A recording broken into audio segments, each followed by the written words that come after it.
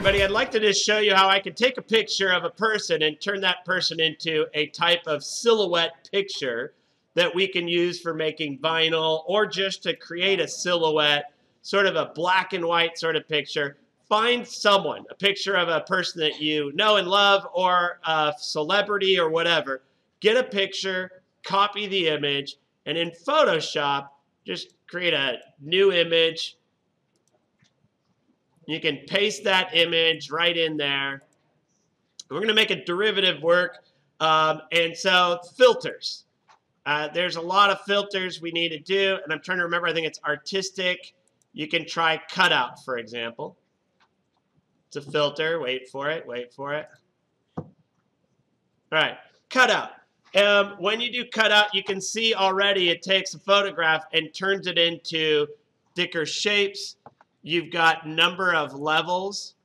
If you create more levels, it's more like the photograph. If you create fewer levels, you can see what happens. It, it turns it into a shape like this. So if you get the right picture, you can try adjusting the levels, edge simplicity.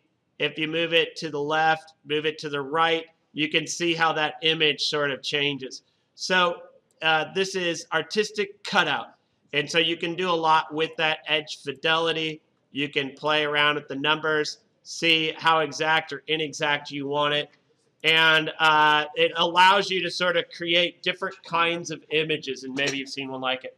A lot of times this cutout really depends on the original picture that you get. I'm going to leave it like this, and let's try it with a different photo and see different examples of how we can do this. All right, let's try this again. Let's do it with De Niro. Copy an image. Go to Photoshop. We'll try a new image. Now this one, you'll notice it was black and white, so we may be able to get a better, a better picture using this. We'll go back, artistic, cutout. There you go. Uh, even just right off the bat, uh, this would be great if you wanted to do, uh, you got different colors that you can use create some original shapes.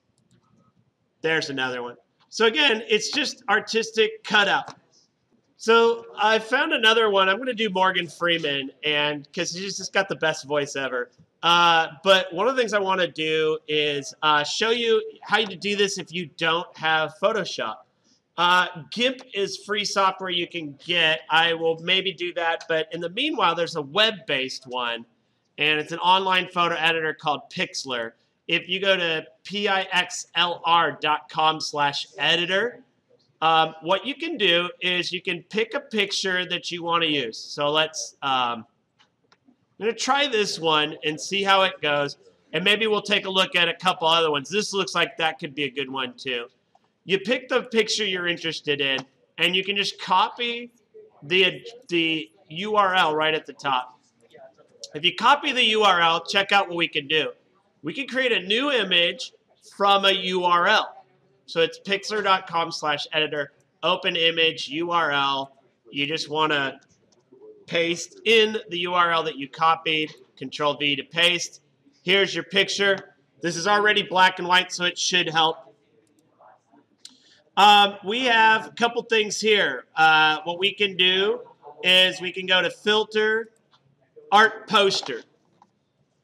And once you're at art poster, see how it's already creates sort of what we're looking at. We can adjust the amount, move it to the left, move it to the right. And so this one, it's a little bit harder. We still have lots of little details that we got here. Um, but it's interesting. You can do the inverse. You can try it that way. You can do it like this. Um, and so that was filter, and it was art poster. Of course, to do a better job, I undid that. Uh, there's a good adjustment called threshold. Check this one out. Threshold. Now we've got some good sharp lines. We can adjust the level, lighter, darker. Find one you think is about right.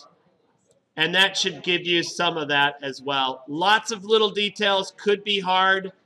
From here, you could try adding the poster, uh, art poster to it. Doesn't seem to make a lot of adjustment after there. But so you've got a couple tools on Pixlr that you can use. So the main one there was adjustment, uh, threshold. Let's see if posterize can do anything to add to it. No. So threshold is probably the one that you want. It's probably the best bet for that. Um, another option you have if you don't have uh, if you don't have Photoshop is you can go to gimp.org, go to downloads. I would recommend you download it directly and then you can set that up and use it. Okay, so I found a picture of Samuel L. Jackson. And so what I'm going to try on GIMP is I'm going to save it first. I'm going to save it just into my library's pictures, and I'm going to try opening it in, in GIMP. So in GIMP, when you download it, and like I said, this is open source, so it is free. And so we just need to open up the libraries of pictures. There it is. I should probably check to see the name of the picture. There it is.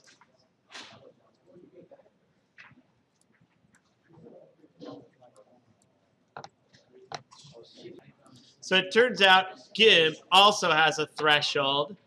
It's under colors, threshold, and you take this little slider here, you can move it left or right to get the detail you're looking for. So you can play around with some of these settings until you get what you're what you're trying to do and then click OK. So threshold, same kind of thing. Depends on the picture you have. You may want to get one that already has some of that built in. There's one other option you might want to try, and that's under Colors, Posterize.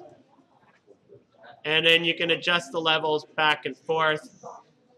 You go to two colors, and it sort of does a lot of the same kind of thing that you've done there. So posterize or threshold. Okay, there's one last touch-up you can do. It's under filters. And let's see if I can find where that went. Artistic photocopy. There it is. Artistic photocopy.